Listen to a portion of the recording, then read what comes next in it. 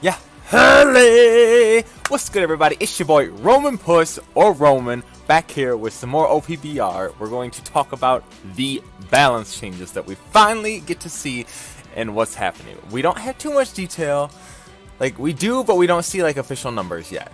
But there are a fat amount of changes, kind of. I wish there was a little more to specific characters, but they left it pretty broad of an adjustment and we're gonna see if it's actually viable. So let's take a look. Okay so this is what we have. We have a bunch of stat on HP attack and defense for all of this fat list of characters from like Akainu, Kiji, and I don't even think yeah no Saka or Kizaru they didn't left out. Like they didn't even touch Kizaru which I don't know. I guess he's been faring well. Like I, there was, what is it? The player Barcelino. He actually, I played against him not too long ago, and he actually did really well. So like maybe Kizaru doesn't necessarily need it, but the issue, like Shanks and Blackbeard, just aren't here on my list, and are pretty much the things I can easily deal with him. So I just like these are like all the stat changes for this fat list. Which I'm surprised they did like Reiju. I think Reiju's actually been faring pretty well in the current meta. So I'm surprised by that, and I'm surprised, like, we have green Hancock, but we don't have red Hancock on here. And I don't know why she's not on there. Like, the red Hancock's just been so not the greatest for so long. Like, I want her to be greater. I want her to be so much stronger than what she is. I just if she would have done these buffs that we're about to look at in the middle, or if she would have gotten those buffs, I think she would have been much better. But those are just basic stat boosts, so we'll see how that affects these characters and see if it makes them a little better. Like Law, I think definitely needed it. Like Law is like very good utility wise, but he definitely is kind of lackluster on some of the stats compared to like he could you can Blackbeard can like literally one shot him easily every time. I get color advantage, but like there's a lot of other people I have color advantage. Like with the new Ace, I have color advantage against him, but I can't one shot him nearly as much as I can the law. So that's just, just like a big thing right there. Hopefully Kid will become useful. I don't know. I think just he needs some kind of extra changes and whatnot. Um, the motion adjustments. Thank God. Ki Akainu, I'm going to like check out Akainu and do another video and see his improvement and see whether he is better or not because those auto attacks were terrible. Holy shit! And then Kiji's getting a buff too. That if that brings Kiji's out, that'll be fairly annoying because Kiji is so tanky and he's actually like with the freeze thing and when you hit him, it's like obnoxious. Did you like did you guys realize Blackbeard can actually freeze in the middle of his black hole when he's like attacking a Kiji? So like you can just be attacking and all of a sudden you're frozen and then it's just your ability stops. Just everything stops. It's actually so annoying. So I think that's really cool. Um, these adjustments made to skills. These have been needed for so long. Holy, I'm so excited for these. We get to increase the speed at which the skills activate for Akainu for skill 2. That's needed that for so long. It literally takes 10 years and it's so easy to dodge. So like that's been like needed to be a thing for so long. I really hope they do these balance changes more often than what like we've gotten like two major balance changes throughout the year. Like correct me if I'm wrong, but I think I only can count like two major ones. There's some small ones between that, like like maybe like three more small ones between that, but like it was nothing drastic. But we've only had like two major ones like this, and this is the second one, I believe. And yeah, and then there's like that smoker thing. Like all they did was add a stun effect to like step of skill one. Like that's irrelevant. That's not like really a balance change. It really doesn't do anything, to be honest. But and then we have some number changes for just like the two years. Like why? Like they're just all over the two years all the time, and I don't get it. Like no, just just peace with them. Honestly, just pull them out of those like poles, like the step up poles. I just the two years got to go. Like boost the rates of the other characters and just dish the two years because uh-uh. You can keep same percentage of, to get a four star, and yeah.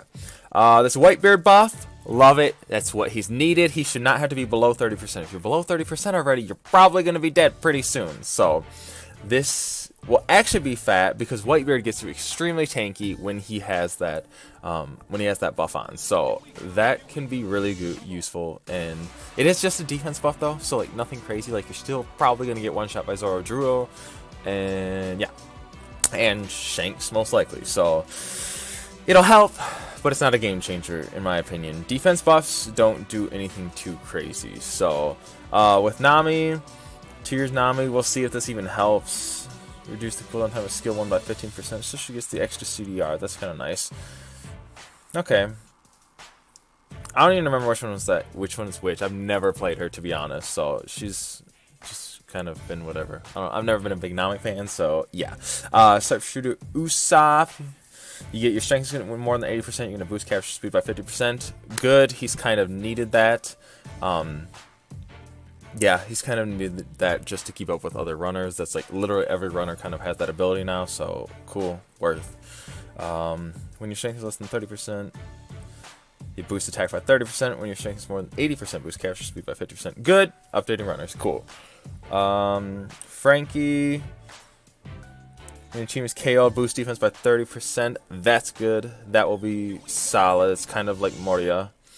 And then the one two percent to three percent. I don't know if that's really that much of a game changer on the Green Hancock. I don't know if that'll do too much, but we'll see. So I kind of like these help.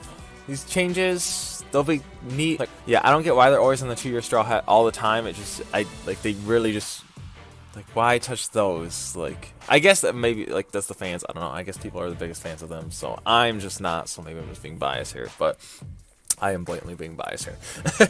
but yeah, I don't know. I would have liked to see things like like Blackbeard, in my opinion, to help a little bit without like destroying him. I think it would still he'd still be stronger than people, but I don't think he needs the revive necessarily.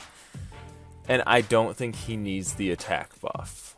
Or at least just remove the attack buff. He doesn't need that. He's a defender. Why is he getting an attack buff when he's knocked down?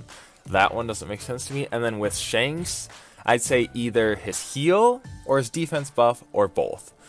Those are like the things that I would probably remove from them to kind of help balance out a little bit. Maybe that Blackbeard revive is really nice, but like I don't think the revive plays into his character at all.